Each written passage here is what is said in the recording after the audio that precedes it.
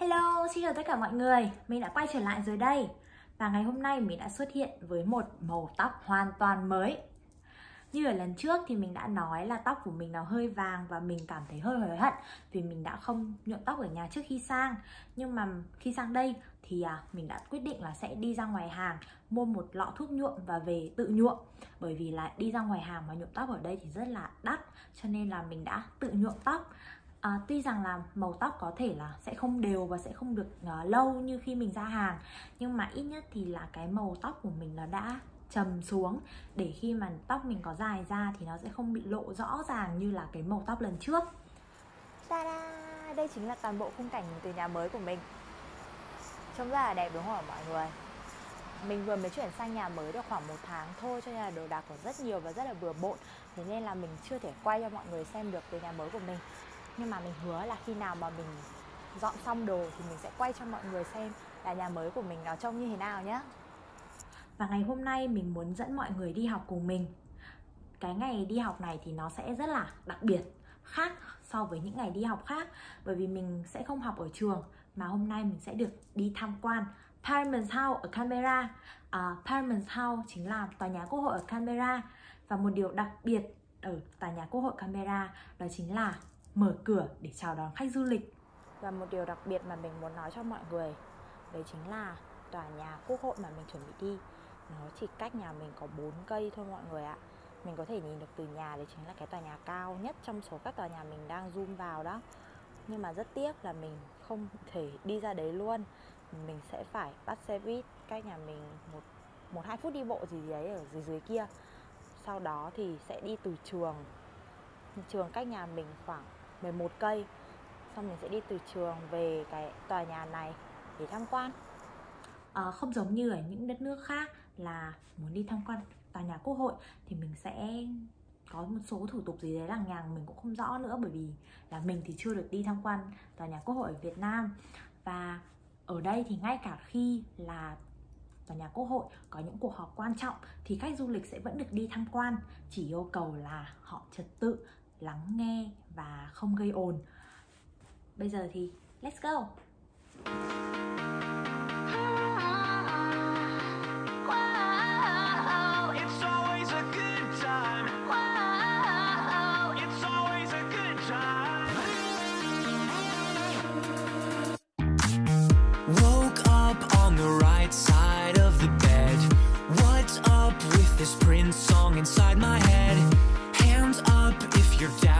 Get down tonight. Cause it's always a good time. Slept in all my clothes like I didn't care. Hopped into a cab, take me anywhere. I'm in Và đây là phía bên ngoài của Parliament House Còn bây giờ thì mình sẽ đi gặp các bạn cùng lớp của mình và hỏi mọi người xem mọi người đang cảm thấy như thế nào nhé. Yo, man. 4 năm Hello. Hello. Thế có, có thay đổi không? Mọi người thấy như nào? Cũng uh, thật sự tôi rất là cảm xúc nhưng mà cũng thấy rất là bình thường. Mà tao thấy cái tao thấy như nào? Làm mà tao mê đầu thì đây là lần đầu tiên mình tới ra đây thì mình rất là cảm thấy rất là hồi hộp ấy mà mình cũng không biết nói làm sao. Nói thì sao?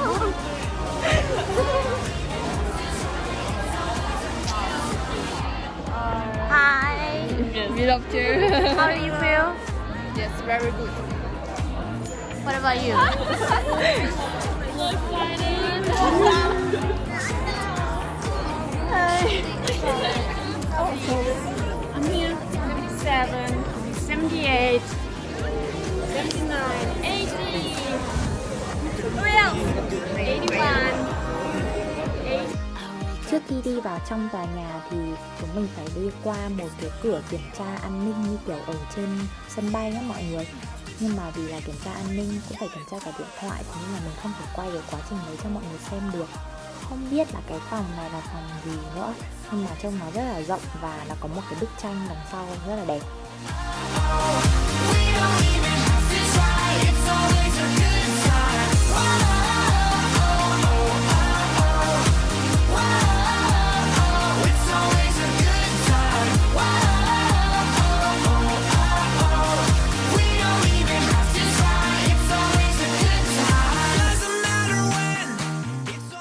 Thì chúng mình sẽ được dẫn đi tham quan bên trong tòa nhà Quốc hội Úc và bên trong tòa nhà Quốc hội thì có phòng họp của Thượng viện và Hạ viện, nhà giải lao và phòng trưng bày rất nhiều tác phẩm nghệ thuật đặc sắc. Riêng phòng họp Hạ viện và phòng Thượng viện thì có hai màu đặc trưng chính là màu xanh như mọi người thấy đó và ngay sau đây sẽ là phòng họp màu đỏ. Các phòng này chính là nơi mà chính trị gia hội họp và tranh luận và đây cũng chính là trung tâm của nền dân chủ Úc. Và bên trong tòa nhà Quốc hội Úc thì có rất nhiều thứ thú vị để mọi người có thể khám phá và tìm hiểu. Nhưng mà vì mình quá mải mê ngắm nghía xung quanh, cho nên là mình cũng đã quên quay mất một số thứ khá là thú vị.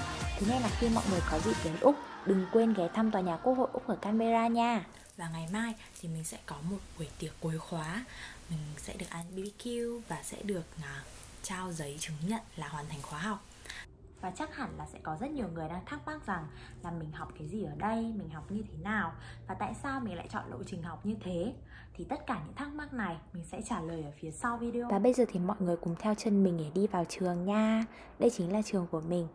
University of Canberra.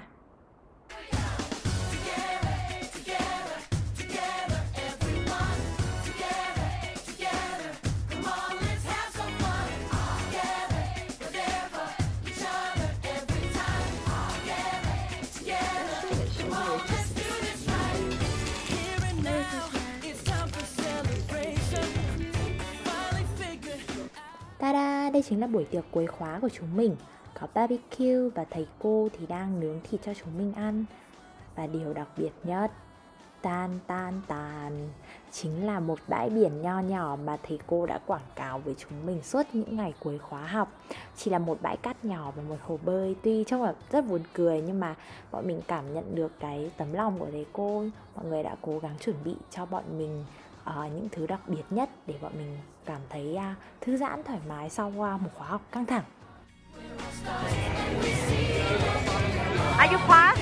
Yes, I pass. Yay! Yeah, yes!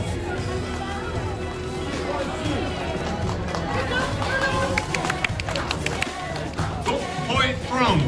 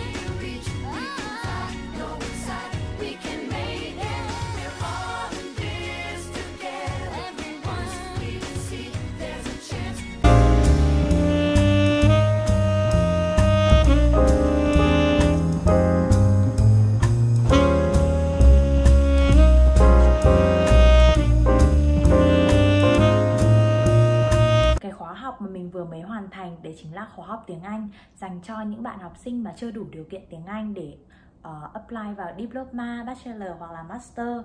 Và cái việc mà sắp xếp học sinh uh, học ở cái level tiếng Anh nào thì nó dựa theo những cái kết quả mà mọi người uh, gửi vào trường khi mà mọi người apply vào học.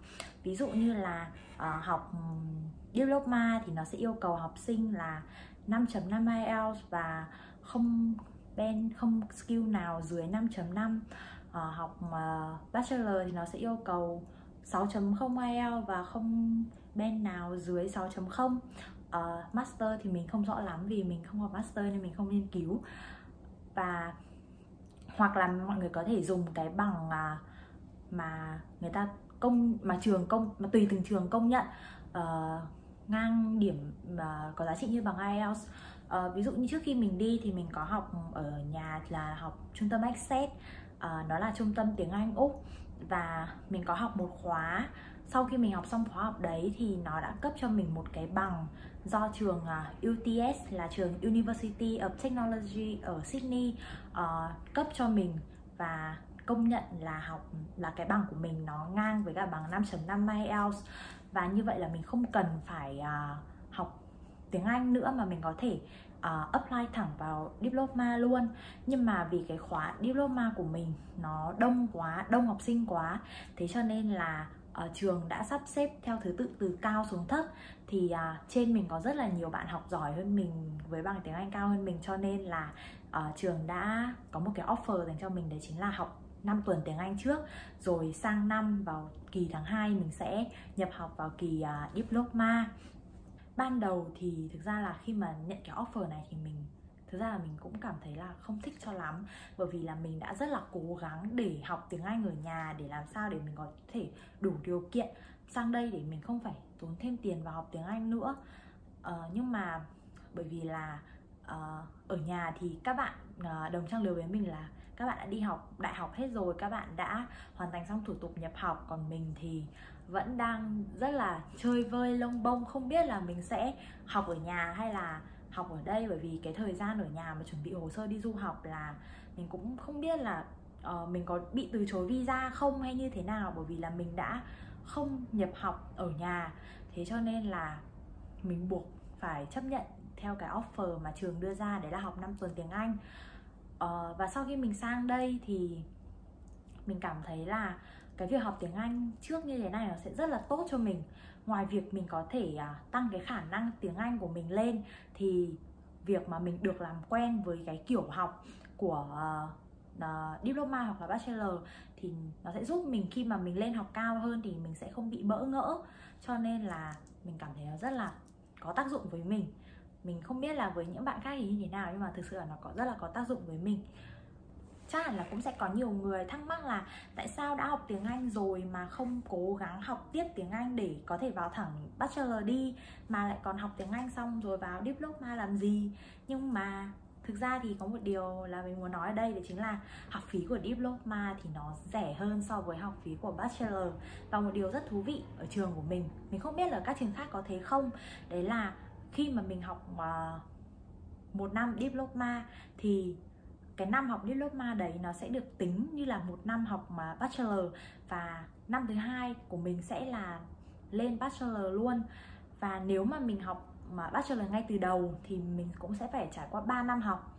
Và nếu mà mình học một năm diploma và 2 năm bachelor. Như vậy thì mình cũng sẽ ra trường là 3 năm. Nói chung là nó cùng với thời gian mà mình lại có thể tiết kiệm một số chút ít tiền học. Mình cảm thấy như vậy cũng khá là tốt và bên cạnh đấy thì mình sẽ có hai bằng. Một là bằng diploma hai là bằng à, bachelor. Khá là hay. Nhân tiện đây thì mình cũng muốn chia sẻ với mọi người một chút về vấn đề chọn trường chọn ngành để học. Uh, đây hoàn toàn là dựa trên suy nghĩ của mình. Mình cũng chỉ 18 tuổi thôi chưa có nhiều sự trải đời. Nhưng mà uh, cá nhân mình nhìn nhận và cũng là mình học hỏi từ những người đi trước cho nên là mình cũng muốn khuyên mọi người là mọi người hãy chọn tìm ra cái ngành mà mọi người thích học nhất. Mọi cái ngành mà mọi người học thì mọi người không cảm thấy chán hay là buồn tẻ. À, có thể là sau này khi mà mọi người học xong thì mọi người sẽ không tìm cái việc mà liên quan đến cái ngành mọi người học. Nhưng mà ít nhất là trong cái khoảng thời gian mọi người học mọi người cảm thấy vui mọi người cảm thấy là nó có ích cho mọi người sau này thì mọi người nên chọn cái ngành đấy. Uh, hoặc là đối với những người khác mà những người mà đã vạch định được tương lai của mình là khi mình học xong cái này thì mình sẽ đi ra ngoài trường xin xin việc mà nó phù hợp với ngành của mình thì thôi mình không nói. Đấy là những người đã xác định được tương lai của mình rồi. Nhưng mà đối với những người đang bấp bênh không biết là đi học cái gì hay là với những bạn mà gần đến ngày thi đến ngày phải chọn rồi các bạn chọn bừa ngành mà các bạn thấy là có rất là nhiều người chọn. Ví dụ như là rất nhiều bạn học quản trị kinh doanh uh, mà các bạn thực sự các bạn cũng không biết là sau này ra trường thì các bạn sẽ làm gì với cái bằng cái tấm bằng quản trị kinh doanh đúng không? Đó cho nên là mình nghĩ là mọi người nên tìm hiểu xu hướng thị trường bây giờ uh, thị trường đang cần cái gì và người có thể đáp ứng được cái xu hướng đấy không? Ví dụ như mình thực ra là bản thân mình nói về sở thích của mình thì mình muốn học về uh, design về photography hay là những thứ về uh, gọi là creative một chút. Nhưng mà thực sự thì cái mình cảm thấy là cái khả năng của mình nó vẫn đang còn rất là hạn chế. Ví dụ như mà mình à, học design hay là mình học photography thì một có thể là nó quá nặng đối với mình. Hai là cái điều kiện của mình nó không cho phép đi thì mình sẽ chỉ để nó làm cái sở thích của mình thôi. Mình sẽ nghiên cứu nó ở ngoài lề uh, bên ngoài giờ học chính còn mình cảm thấy cái thế mạnh của mình đấy chính là tổ chức các cái event mình có thể à, làm leader kiểu kiểu đấy thì mình sẽ chọn cái ngành mà mình cảm thấy là mình có thể làm tốt được tức là mình chọn cái phương án phương án an toàn cho mình. Nên là mình uh, high recommend cho mọi người là hãy chọn cái hãy đi tìm hiểu xu hướng thị trường trước và hỏi bản thân mình xem là bản thân mình có thể đáp ứng được cái xu hướng thị trường đấy không. Chứ đừng có quyết định học chọn bừa lấy một ngành và cứ thế học. Mọi người sẽ có thể là trong cái thời gian đi học đại học của mọi người thì mọi người sẽ vẫn uh, lấy được những kinh nghiệm. Nhưng mà sau này khi đi làm mọi người cảm thấy là ví dụ như là những bạn học mà kế toán đi kế toán nó là một nghề ở đâu cũng cần kế toán. Ai cũng bảo là ở uh, từ những uh, sạp uh, shop nhỏ đến cả một tập đoàn công ty lớn thì đều cần kế toán. Nhưng mà với cái số lượng kế toán học ra quá nhiều như bây giờ vậy thì liệu cái sự cạnh tranh làm việc nó có lớn nữa không? Câu trả lời chắc chắn là có. Mình tin là mọi người cũng sẽ nhận ra được. Và trong một cái xã hội như thế này thì kèm kẻ mạnh chắc chắn sẽ chiến thắng kẻ yếu. Tức là ai mà có năng lực hơn thì nhà tuyển dụng sẽ chọn. Thế nên là hãy học cái gì mà bạn cảm thấy là bạn là, đã có, bạn cảm thấy là bạn sẽ làm tốt. Mọi người sẽ khuyên là nên học cái mình thích, bởi vì mình thích thì chắc chắn là mình sẽ làm tốt. Nhưng mình cảm thấy thực sự là không phải như vậy. Mình thích là một chuyện, nhưng mình có làm tốt cái việc mình thích hay không đó lại là một chuyện khác. Thế nên là biết điểm mạnh của mình học theo cái điểm mạnh của mình thì nó mới chính là cái điều tốt mà mọi người nên làm. À, thế nên là cố lên.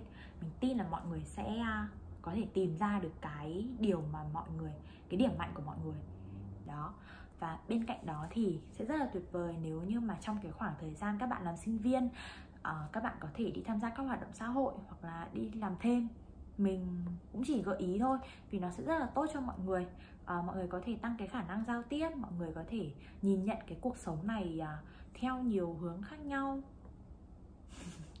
Nói chung là hãy để cho cuộc cuộc sống này mỗi người chỉ có một cuộc sống thôi. Thế nên là hãy để cho cái cuộc sống của mình làm sao mà nó đáng sống nhất có thể.